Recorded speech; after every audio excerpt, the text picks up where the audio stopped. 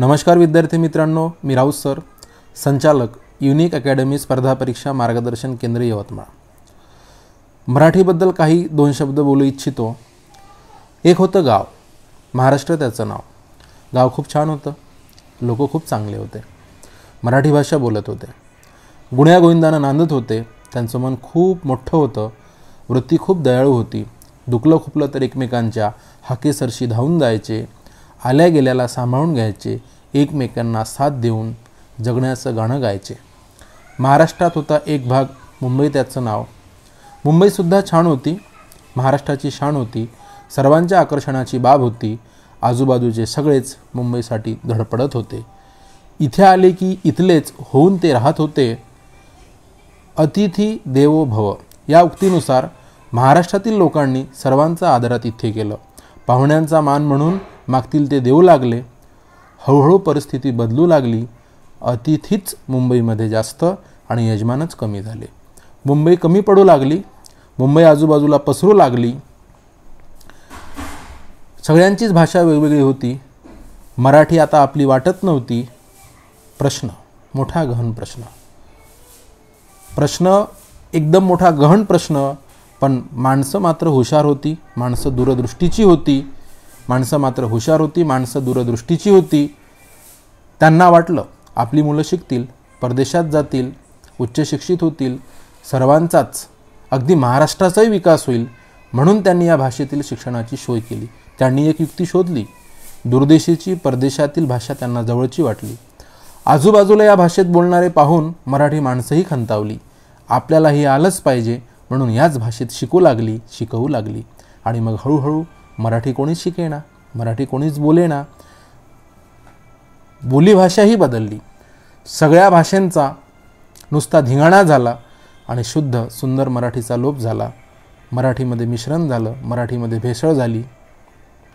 अशा या महाराष्ट्रातील अशा या महाराष्ट्रातील एक छोटा मुलगा आपल्या आईबरोबर एके दिवशी वाचनालयात गेला. चुकून त्याचा हात एका मराठी पुस्तकावर पडला. त्यानं ते पान उघडलं.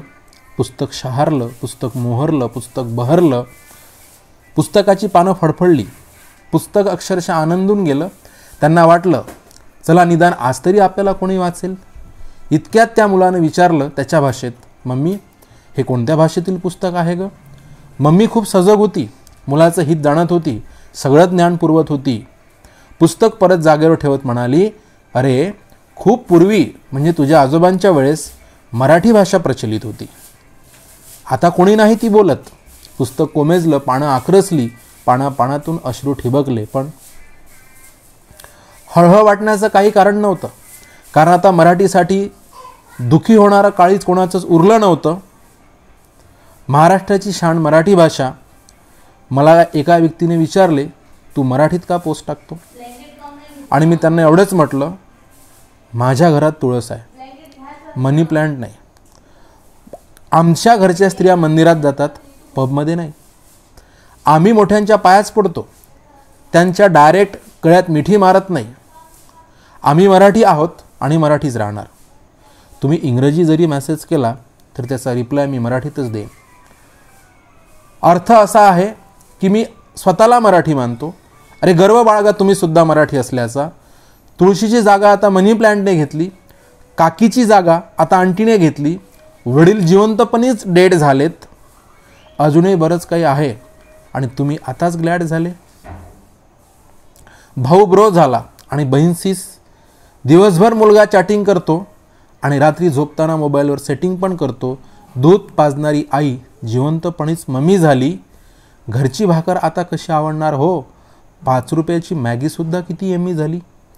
माझा मराठी माणूसच मराठीला विसरू लागला. आपली संस्कृती लोप पावण्यापूर्वी ती जपण्याचा निदान प्रयत्न तरी करणं जरुरी आहे. आज कुसुमाग्रजांचा जन्मदिन आज मराठी राजभाषा दिन कुसुमाग्रज एके दिवशी एकेकाळी बोलून गेले. त्यांच्या ओळी मी दोन सांगू इच्छितो की ते असं बोलले होते माय मराठी मरते इकडे परकीचे पद चेपू नका. परभाषेतही हा पारंगत ज्ञान साधना करा तरी माय मराठी मरते इकडे परकीचे पद चेपू नका धन्यवाद.